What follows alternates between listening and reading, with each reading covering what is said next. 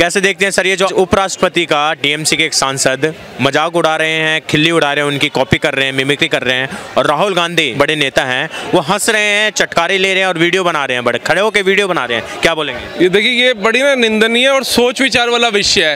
एक तरफ़ तो ये बात करते हैं एजुकेशन के ऊपर कि बहुत पढ़े लिखे हमारे युवा कांग्रेसी नेता जिनको प्रधानमंत्री का खाब देखना देखना इनका मुहिम है, वो उसको इतनी उसकी विचारधारा डूब चुकी है राजनीति स्तर के ऊपर कि भारत के उपराष्ट्रपति का मज़ाक एक सांसद उड़ा रहा है, निलंबित सांसद।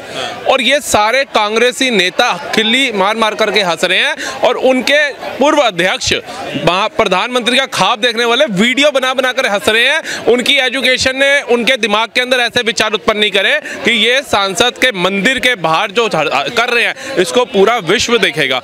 और विश्व देखेगा तो बाद में देखेगा जो नेशनल मीडिया दिखाएगी। आप खुद वो वीडियो बना रहे हैं। तो कहाँ है आपकी एजुकेशन ये एक पढ़े लिखे इंसान की हरकत है कि एक उपराष्ट्रपति का आप मज़ाक उड़ा रहे हैं और आपकी के सदस्य खिल्ली उड़ा रहे हैं और आप वीडियो बना रहे हैं। तो अगर सोच विचार किया जाए इसके ऊपर तो जो लोग बोलते हैं जो लोगों के विचार सामने आते हैं ना, और जो भाजपा के नेता भी डंके की चोटे बोलते हैं कि ऐसा नेता, ऐसा कांग्रेस का अध्यक्ष, ऐसा कांग्रेस का चिराग प्रधानमंत्री बनने योग्य नहीं है तो नहीं है। और एक उनको जो उपाधि दी गई ना पप्पू की, वो ऐसे नहीं दी गई। यही विचारधारा प्रकट करती है। ये चीज़ों में कौन हँसते हैं? बच्चे हँसते हैं। जब ऐसा कुछ कॉमेडी मज़ाक हो रहा होता है तो इसके अंदर जाकर के बच्चे हँसते हैं क्योंकि उनको समझ नहीं होती कि क्या बात हो रही है। आम आदमी नहीं है उपराष्ट्रपति हैं और उसका आप मज़ाक उड़ा रहे हो और वो खड़े होकर खिल्ली उड़ा रहे हैं हंस रहे हैं वीडियो बना रहे हैं। तो मैं वही तो कह रहा हूँ अभी कोई बोल देगा इटली से आई एक महिला राम जी का अस्तित्व मांग रही थी। उसके ऊपर और जब कांग्रेसी और के खिलाफ कई सदस्यों ने, कई भाजपा के लोगों ने पूछ लिया कि भाई राम मंदिर का तो आप अस्तित्व मांग रहे हो राम जी का, लेकिन आपका क्या अस्तित्व है? आप कहाँ से आए? क्या करते थे वहाँ पर? तो कांग्रेसी नेताओं के साथ साथ कांग्रेसी चमचों को भी कीड़े लग जाते हैं कि भाई इतना बड़ा सम्मान एक महिला के लिए आपने कैसे बोल दिया सम्मानित महिला के लिए? लेकिन वहीं देश के उपराष्ट्रपति जो सबसे सम्मानित व्यक्ति हैं और सम्मानित पद पर बैठे हुए व्यक्ति हैं, उनका इस तरीके से खिल्ली उड़ाना ये क्या दर्शाता है? बोल रहे हैं कि प्रधानमंत्री को उन्होंने आदर देते हैं, झुक जाते हैं, इसलिए उसका खिल्ली उड़ा रहे हैं। बोलेंगे स्पाइन नहीं है, क्या बोलेंगे इसको? सर, बुद्धि ना, प्रधानमंत्री को इस समय कोई हमारे देश के लोग, हमारे देश के युवा, महिलाएँ बुज़ुर्ग सम्मान दे रहे हैं, विदेशों तक सम्मान दिया जा रहा है। बाइडन को भी खिल्ली उड़ाओ उसकी जा करके। पाकिस्तान के लोग मांग रहे हैं, मोदी मोदी, उनकी खिल्ली उड़वाओ। ऑस्ट्रेलिया का पीएम बोस बोल रहा है, उसकी खिल्ली उड़ाओ। तमाम 20 जी ट्वेंटी की अध्यक्षता वाले सारे प्रधानमंत्री, जो उपराष्ट्रपति, राष्ट्रपति, नेता है, गण है, वो सारे मोदी मोदी कर रहे हैं। तो आप किस किस का मज़ाक उड़ाओगे? आपको भारत की सभ्यता का ही सम्मान नहीं है। भारत के ही सभ्यता सम्मानित पद पर बैठे इंसान का सम्मान नहीं कर पा रहे जो लोग। वो भारत को क्या चलाएँगे?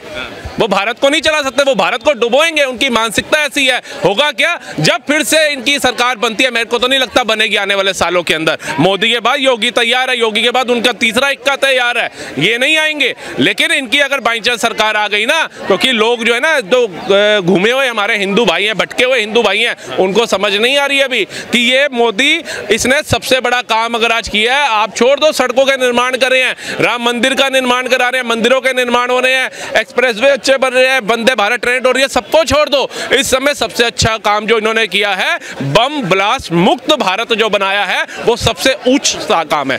आए दिन बेचारे लोग मर जाते थे, जिनका कोई रोल नहीं होता था, कुछ नहीं होता कोई कमाने के लिए निकला, कोई बीवी बच्चों के साथ घूमने के निकला, उसको नहीं पता था कि शाम को वो घर भी पहुंचेगा नहीं। लेकिन इनकी विडंबना यही है। अगर इनके हाथों में सत्ता आती है तो आज ये उपराष्ट्रपति का मज़ाक उड़ा रहे हैं। आने वाले टाइम में जब बम से लोग मारे जाएँगे तो ये उनका मज़ाक उड़ाते हुए दो मिनट राष्ट्रपति जी ने, जो उपराष्ट्रपति जी हैं, उन्होंने आपत्ति भी जताई इसके ऊपर। बोल रहे हैं कि जो कांग्रेस के नेता हंस रहे हैं और वीडियो बना रहे हैं और जिस तरीके से उनका मज़ाक कर रहे हैं, उन्होंने आपत्ति, लगता है ये माफ़ी मांगनी चाहिए विपक्ष को और खासतौर से राहुल गांधी को। मेरे को तो लगता है देखो सत्ता पूरी मोदी सरकार के हाथ में है। इनके जो काले कानून है ना इन सबको रद्द करो। अगर एक बंदा सम्मानित उपराष्ट्रपति का मज़ाक उड़ा रहा है इसको आजीवन के लिए निलंबित करना चाहिए।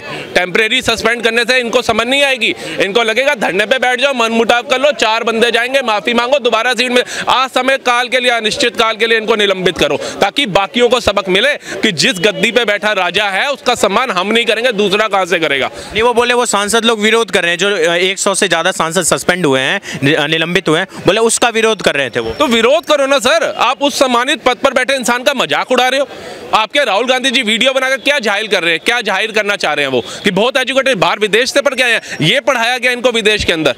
कि भाई जाना और अपने ही देश के सम्मानित पद पर बैठे उपराष्ट्रपति अगर किसी सांसद को निलंबित करता है तो उसका वीडियो बनाना और लोगों को बताना कि हाँ ये हमारे कॉलेज से, ये हमारे स्कूल से पढ़ा हुआ बच्चा था जो भारत जा करके ऐसी करतूतें कर रहा है। ताकि लोगों की आँखें खुले, जो लोग खाब देखते हैं अपने बच्चों को बाहर भेजने का, उन्हें पता चले कि बाहर की एजुकेशन क्या है। और जो लोग वाक्य में अच्छे पढ़ लिख करके बाहर से आते हैं, ये उनकी एजुकेशन के ऊपर भी थप्पा लगाने वाला कार्य आज महागठबंधन की बैठक हो रही है इन 25 पार्टियों की, जो इंडिया अलायंस है। लग रहा है कि ये महागठबंधन के बैठक के बाद जो दावे आज राहुल लालू यादव कर रहे थे और और विपक्ष के नेता कि जो मेजोरिटी से सरकार बनाएँगे और मोदी सरकार को उखाड़ फेंकेंगे। लग रहा है गठ, गठ, बैठक के बाद कुछ ऐसा होगा? ये सारे सर्दियाँ आ रही हैं। अभी लोहड़ी का फ़ंक्शन भी आएगा मूंगफली रेवड़ी गज के खाएँगे। गठबंधन टूटे ही कगार पे है। उसका जीतता जाता सबूत अभी तीन राज्यों में देख लिया है। बड़ा इनको घमंड था भारत जोड़ो यात्रा भारत जोड़ो यात्रा भारत जोड़ो यात्रा। दिखा दिया जनता ने कौन सा तुमने भारत जोड़ा? जोड़ा तुम्हारे पुरखों ने। एक कश्मीर, जम्मू कश्मीर दिया गया था, जवाहरलाल नेहरू को। वो नहीं संभाल पाए, उसके भी टुकड़े करा करके पीओ के वहाँ दे दिया। सरदार वल्लभ भाई पटेल जी को जितने राज्य दिए गए, जूनागढ़ से ले लो, आप हैदराबाद ले लो और बाकी ये जयपुर, राजस्थान, जो भी ले लो, किसी के अंदर बंटवारा नहीं हुआ, सर।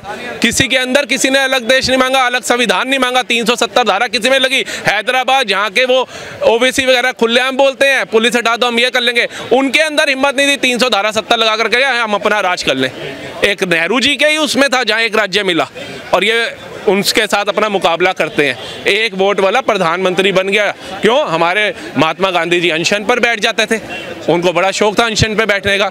और इतनी उन्होंने क्रांति लड़ी इन्हीं परिवार के लिए कि देखिए, उनको अंग्रेज़ गाड़ियाँ देते थे घूमने के लिए। और वही जिन्होंने, जिनके ऊपर कहते हैं क्रांति वीर जो हमारे थे, भगत सिंह, राजगुरु सुखदेव, और भी अन्य सुभाष चंद्र बोस जैसे, उनको लटका दिया गया फांसी के ऊपर। उनको तो गाड़ियाँ नहीं दी गई। गाड़ियाँ इनको दी गई। और ये जो गठबंधन है, ये गठबंधन टूटेगा। ये मैं आज आजकल में इसकी रिपोर्ट आ जाएगी। क्योंकि इनको पता है ये राहुल गांधी तो डूबता हुआ तिनका है इसके साथ साथ हम चले तो हम भी डूब जाएँगे। तो बेटर है अकेले अकेले चुनाव लड़ो अगर अपनी अपनी सीट बचानी है तो। क्या नाम है सर आपका? संजीव कौशिक बताइए। कैसे देखते हैं सर? आपने देखा होगा जो विपक्षी सांसदों को जो सस्पेंड किया गया है लोकसभा से 100 से भी ज़्यादा सांसद आज वो विरोध कर रहे थे संसद के बाहर। विरोध करते करते वो जो जिस तरीके से उपराष्ट्रपति हैं भारत के जगदीप धनखड़ उनका मज़ाक उड़ा रहे थे उनकी खिल्ली उड़ा रहे थे और राहुल गांधी हंस रहे हैं और उसकी वीडियो जो खिल्ली उड़ा रहे थे सांसद टीएमसी के उनकी वीडियो बना रहे थे। क्या बोलेंगे यार समझ नहीं आ रहा कि हमारी कंट्री किस तरफ़ जा रही है। पहली बात तो उन बच्चों ने जो हरकतें करी हैं वो गैर जिम्मेदार सांसद है वो लोग सांसद है। उन बच्चों ने जो करी है। जो हमला किया है संसद में हमला नहीं किया कूद फांद जो करी है। मैं ज़्यादा डिबेट में नहीं जाऊँगा। डीप की वो चर्चा का कि भाई, जाँच का विषय है। गंभीर विषय है इंटरनेशनल मैटर है, बदनामी हो रही है हमारी कंट्री की। और इसमें निलंबन, ये, वो, किसने, कांग्रेस के राज में कितने गए थे बाहर, अब कितने गए हैं दैट इज़ रॉन्ग मेरे ख्याल में तो एक हज़ार इशू है यार पब्लिक अमित शाह जी और ये प्री प्लान मोदी गवर्नमेंट यदि चाहती तो इस मैटर को दो मिनट में शॉर्ट आउट कर देती इनके सवालों के जवाब दे देती और डिबेट हो जाती नहीं जो विरोध कर रहे हैं ठीक है विरोध कर रहे हैं निलंबन। हाँ निलंबन के बाद जो विरोध कर रहे थे आज सांसद में, राष्ट्रपति के उपराष्ट्रपति के उस पर फिर उनका मज़ाक उड़ाने लग गए और हंस रहे हैं विपक्षी नेता और उनकी कॉपी कर रहे हैं मिमिक्री कर रहे हैं कि राष्ट्रपति उपराष्ट्रपति ऐसे बोलते हैं उनकी रीढ़ की हड्डी के ऊपर सवाल उठा रहे हैं और राहुल गांधी खिलखिला के हंस रहे हैं और वीडियो बना अन्य बातें हैं ये इन बातों से कुछ नहीं निकलना है जाँच इस चीज़ की होनी चाहिए गंभीरता के साथ। ऐसी जैसी डोकलाम की हुई पुलवामा की हुई वो जाँच नहीं उस तरह की जाँच नहीं चाहिए हिंदुस्तान की जनता को जाँच होनी चाहिए। अमित शाह जी कह रहे हैं मोटा भाई कि हमारी कंट्री के गृह राज्य गृह मंत्री हैं कि जाँच होगी। और जाँच के बाद बैठते तो बेटर बेटर होता संसद को चलने देते करोड़ों रुपए पर डे का खर्चा आता है कहाँ से आएगा वो? आपकी हमारी जेब से ही आएगा। उसको कौन भरेगा? जनता के इशू उठाने के किसी भी मेंबर ऑफ़ पार्लियामेंट के पास ना ही मादा है और ना ही दिमाग है और ना ही टाइम है। राष्ट्रपति का उपराष्ट्रपति का सम्मान होना चाहिए। मज़ाक सम्मान सबका होना चाहिए। एक ग्राम प्रधान का भी सम्मान होना चाहिए। उपराष्ट्रपति एक संवैधानिक पद है। उपराष्ट्रपति राष्ट्रपति प्रधानमंत्री मैं कह रहा हूँ हिंदुस्तान के कंट्री के अंदर हमारी कंट्री के अंदर हमारी कंट्री का कोई भी बाशिंदा किसी भी डेजिग्नेशन पे है सब सम्मान के पात्र हैं। इसमें कोई दो राय नहीं। हाँ। विरोध हो पर अच्छे से विरोध हो ये नहीं कि उनका मज़ाक उड़ाए। सभ्यता के साथ विरोध होना चाहिए सभ्यता के साथ सवाल उठने चाहिए थे। और ये जो यूथ ने ये जो कार्रवाई करी है अब दैट इज़ ये बहुत गंभीर विषय है कि वो अब विपक्ष कोई बेरोजगार कह रहा है, कोई एनजीओ से जोड़ रहा है, कोई समिति से जोड़ रहा है। कॉमन सी बात है, टू दी फ्रैंक, जो आपके चैनल के माध्यम से एक बात कहूँ, जो यूट्यूबर्स दिखाएँगे या मोदी मीडिया दिखाएगा, वही हमारी देश की 96 परसेंट जनता सच मानती है। जनता के पास किसके पास टाइम है? आज मेरे पास हेलमेट है बैग है, अपनी दाल रोटी कमाने में आप, हम सब मशगूल हैं। खर्चे इतने ओवर हेड है कि वो पूरे हो जाए, वही बहुत हैं। अब वो कहाँ से आए, कितने किलोमीटर से आए, किस थ्योरी पे मीडिया चल रही है? गोदी मीडिया आप तो यूथ हैं, आप सरदर्द की बाजी लगा के सच्चाई दिखाने के प्रयास करेंगे, कर रहे हैं। लेकिन ज़्यादा आपने सच्चाई दिखाई, आप भी कटघरे में पहुँच जाएँगे। तो आप, कहने का मतलब यह है, इतनी एनर्जी शायद मेरा यूट्यूबर यदि चाहे तो यदि यूथ के ऊपर लगा ले, बेरोजगारी के ऊपर लगा लेता।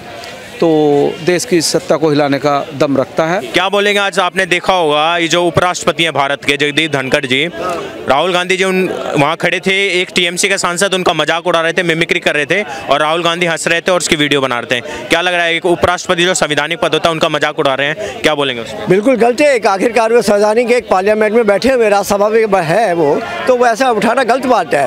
आखिरकार एक कोई एक पद है और पद की एक गरिमा होती है। समझे ना?